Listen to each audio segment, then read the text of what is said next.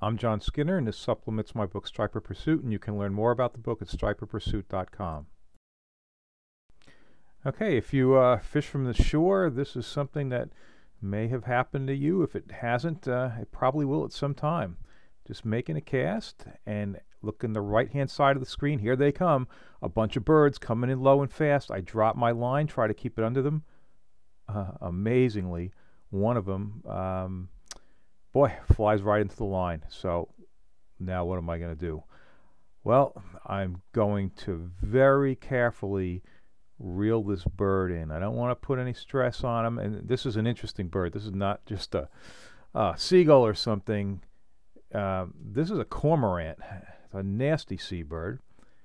And uh, it actually has dove underwater with the line, so I let him go. And now I'm just going to drag him, him, drag him in easily. Um, try not to harm him. And uh, here he comes. He's fine. Um, but this is a mess. You know, he, he's really tangled up in the line. And uh, so, what do you do? Uh, and there's actually a trick to dealing with this, and, and that's what I'm going to show you in a minute. So, what I'm doing right now is I'm getting a pair of line cutters ready because I don't know how bad he's tangled, and I'm kind of hoping that um, if he's not tangled bad, I might be able to just cut the line on both sides of the bird and be able to free the bird that way. Um, so, and the other thing is, the first thing I'm going to want to do here is get the lure cut off of him uh, or away from him. It's not actually on him, it's about four feet away from him. Um, and I want to make sure that that lure is not going to get involved in this mess. And already looking at this, I can see, yeah, I'm probably not going to be able to just cut the line on both sides and free him that way.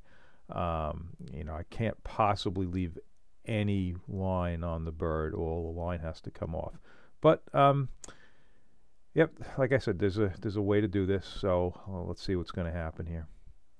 And at the time I'm posting this, it's the fall run, and uh, yeah, you get sometimes you get these schools of fish, and there's a lot of seagulls on them working over the fish, and uh, people will cast into the schools of fish, and, and it becomes almost uh, unavoidable where you know a gull will accidentally fly into the line. So I thought this would be a good time to post a video like this. Okay, so what I'm doing there is, like I mentioned, I, I want to get that fishing lure out of the equation. So um, I cut my line, got a hold of the lure, so now the lure's out of there. Um, the next thing is, yeah, you know, I still got the rod, so let's get all the gear out of the way, um, and then think about the bird. All right, so uh, in a perfect world, you'd have like a blanket or a towel. I mean, all you need to do is put something like a, a blanket or towel or whatever you have over the bird's head. And if you do that, like magic, it will lay really, really still and let you do whatever it is you need to do. So, um, you know, obviously I'm not walking around with a blanket or towel, but I've got my surf jacket and. Uh, sure, I'll be cold for a little bit just to get this guy on his way. So, uh, yeah, get the belt and the gear off and uh, make use of the surf jacket for this.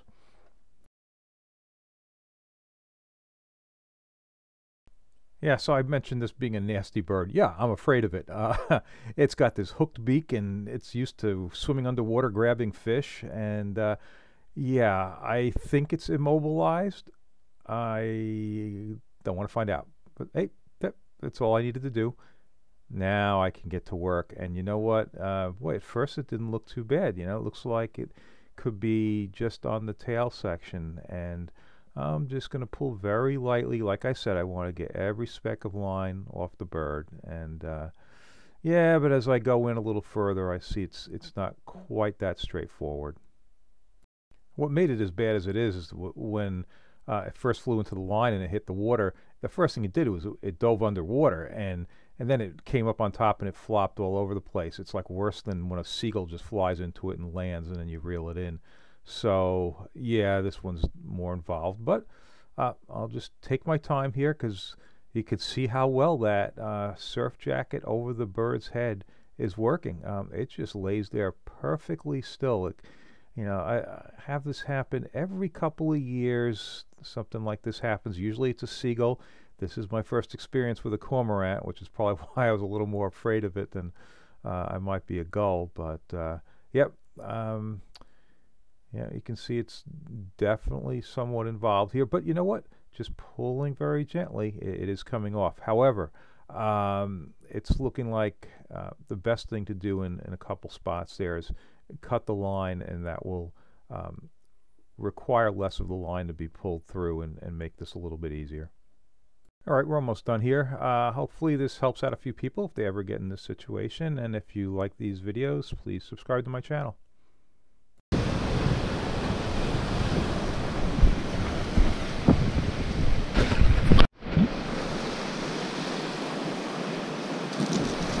Ready, set, fly birdie! Yay! Come on! So these birds spend quite a bit of time underwater, and as soon as he got to the water, that's what he did. He went right under. Um, and then I kept an eye on him for a bit. He he went out and came back up, went down, came up, and then uh, off he went. He flew away. So uh, happy ending. All right, thanks for watching.